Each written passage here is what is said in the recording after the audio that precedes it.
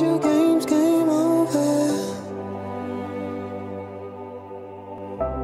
Get me off this road.